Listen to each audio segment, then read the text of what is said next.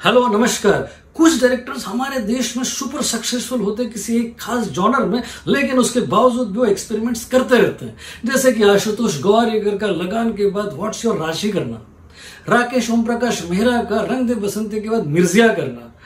राम गोपाल वर्मा का सत्या कंपनी और सरकार जैसी फ़िल्मों के बाद दौड़ और नाच जैसी फ़िल्में करना और मधुर भांडारकर का कॉरपोरेट और चांदी मार जैसे फ़िल्म के बाद एकाएक ही दिल तो बच्चा है जैसी फ़िल्म करना। यानी कि ये डायरेक्टर अपने खास जॉनर में तो एक्सपर्ट होते हैं, लेकिन इनको एक्साइटमेंट होता है दूसरे जॉनर में काम करने का और इसमें कई बार उनको फेलियर भी मिलता है।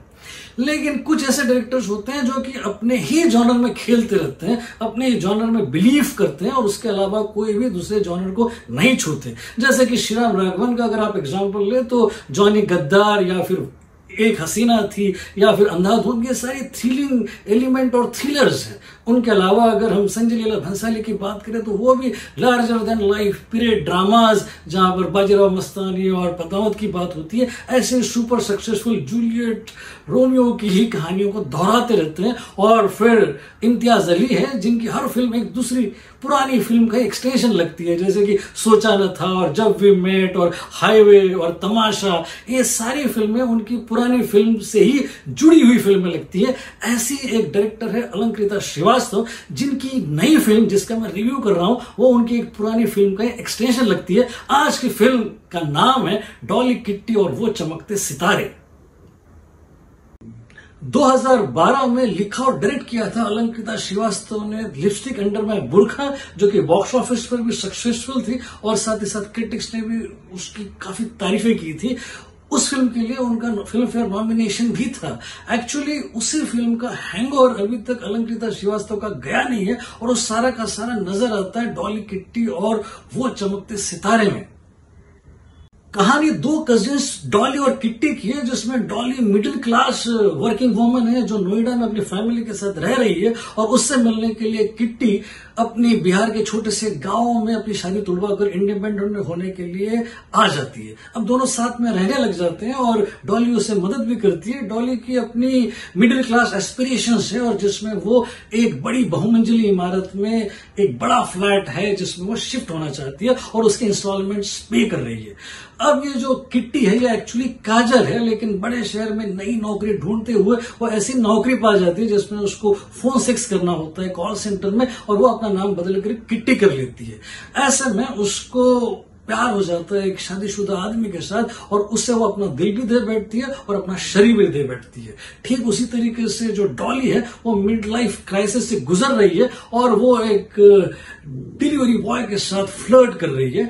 यहाँ तक तो सब कुछ ठीक है, ये बेस ठीक है कैरेक्टराइजेशन ठीक है, लेकिन उसके बाद अचानक ही सारे के सारे लोग सेक्स स्टार्ट होने लगते हैं और सेक्सुअल एक्सपेरिमेंट्स करने शुरू कर देते हैं।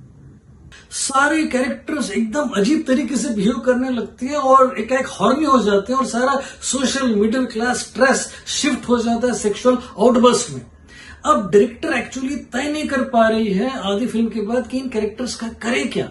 वो डॉली की मम्मी को बुला लेती है, जिसको उसने बचपन में छोड़ दिया था। अब डॉली इसलिए भी परेशान है कि उसका जो छोटा बेटा है, वो लड़की बनना चाहता है। अब डॉली जो है, वो अपने बच्चे नोमा प्रेमी के साथ कब्रिस्तान में मिलती है, उसे किस करने से इनकार कर देती है, लेकिन सेक्स ज़रूर करती है। अब जो किट्टी है, वो अपनी फ्रेंड के बॉयफ्रेंड के साथ सेक्स करने लग जाती है। बड़ा अजीब सा माजरा है, क्योंकि सारे ही कैरेक्टर्स या तो सेक्स कर रहे हैं, या तो सेक्स के बारे में सोच रहे हैं। कुछ लोग मेंटल सेक्स कर रहे हैं, कुछ फ़िज़िकल सेक्स कर रहे हैं, और कुछ फ़ोन सेक्स कर रहे हैं। यानी कि सारे के सारे लोग कार्नल प्रैक्टिसेस में मग्न हैं, और ऑडियंस यानी कि हम ये सोचकर हैरान हो जाते हैं कि क्या ज़िंदगी इतनी अनकंट्रोलेबल और इतनी इरिस्पॉन्सिबल हो सकती है। एक्टर्स में कोंकना सिंह शर्मा और भूमि पेडने का रूटीन है।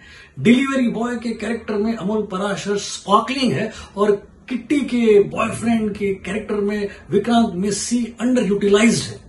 राइटर डायरेक्टर अलंकृता श्रीवास्तव से हमको काफ़ी उम्मीदें हैं क्योंकि उनकी रिवॉल्यूशनरी और pathbreaking film lipstick under my Burkha के हम सारे लोग बहुत बड़े मुरीद हैं। 120 मिनट की इस फ़िल्म में दो गाने हैं जो बड़े एब्रप्ट है। फ़िल्म की लय कुछ और है और इनकी लय कुछ और है। कई बार फ़िल्म बड़ी ही स्टैगनेंट हो जाती है और बिल्कुल भी समझ में नहीं आता कि आगे क्या होगा। सारे के सारे कैरेक्टर्स स्टैंड स्टिल जैसे हो जाते हैं। उसके अलावा जो लव मेकिंग सीन्स है, उनकी भरमार है, लेकिन कुछ भी खास कहीं पे भी टेस्टफुल नहीं है। सारा का सारा एक्सपीरियंस बहुत ही टायरिंग और बिलो एवरेज है। मैं इसे दूँगा थ्री स्टार्स